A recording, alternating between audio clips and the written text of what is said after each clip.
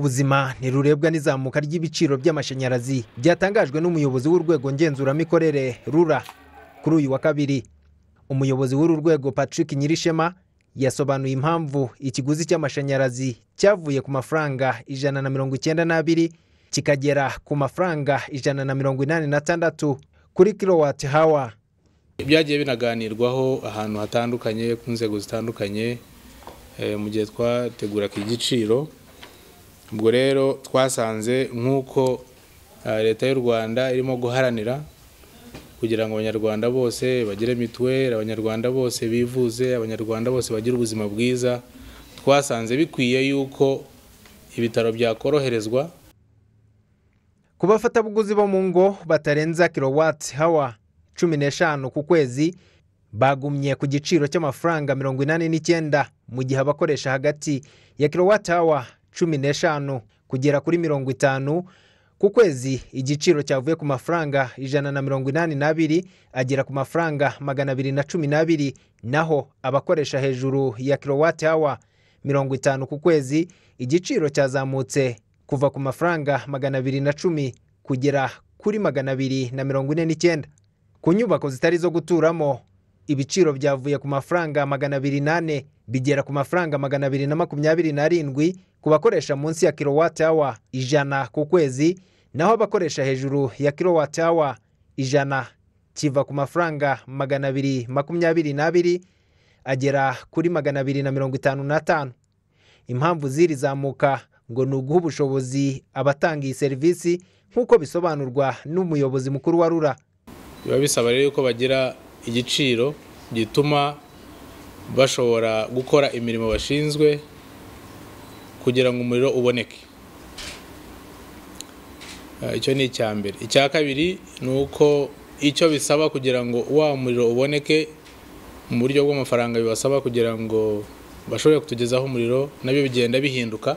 Impinduka zigaragara kandi mu bafatabuguzi nk'iminara y'itumanaho aho igiciro cyavuye ku mafaranga ijana na mirongo inani n'atanu kigera ku mafaranga magana abiri na cumi mu gihe ku mahoteli igiciro cyazamutse kivuye ku mafaranga ijana na makumyabiri n'atandatu kikagera ku mafaranga ijana na mirongo itanu n'arindwi. Naho ku bigo by'itangazamakuru igiciro cyavuye ku mafaranga ijana na mirongo inani n'ane kigera ku mafaranga ijana na mirongo icyenda n'abiri. Naho abafatabuguzi b'inganda nto batarenza kilowati hawa ibihumbi magana abiri na makumyabiri ku mwaka igiciro cyavuye ku mafaranga ijana na cumi. Kikaba kiri ku ijana na mirongo itatu n'ane.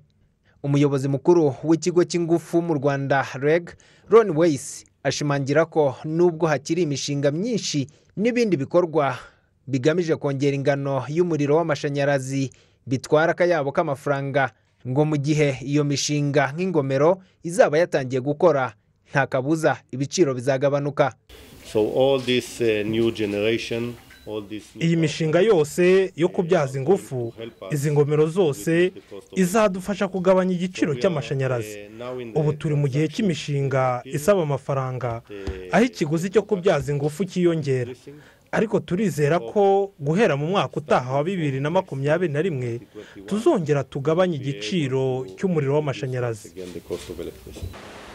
muri izi mpinduka kandi inganda ziciriritse zikoresha hagati ya kilowati hawa ibihumbi magana abiri na makumyabiri n'ibihumbi magana atandatu na mirongo itandatu ku mwaka. Zizajya zishyura amafaranga ijana n'atatu avuye kuri mirongo inani n'arindwi kuri kilowati hawa naho inganda nini zikoresha amashanyarazi arenze kilowati hawa ibihumbi magana atandatu na mirongo itandatu ku mwaka zishyura amafaranga mirongo icyenda n'ane avuye kuri mirongo inani mu gihe ububiko bw'amakuru ibiciro bishya ari amafaranga ijana na mirongo irindwi n'icyenda avuye kuri magana abiri makumyabiri n'abiri bivuze ko naho igiciro cyamanutse aho igiciro cyagumye ku mafaranga ijana na makumyabiri n'atandatu.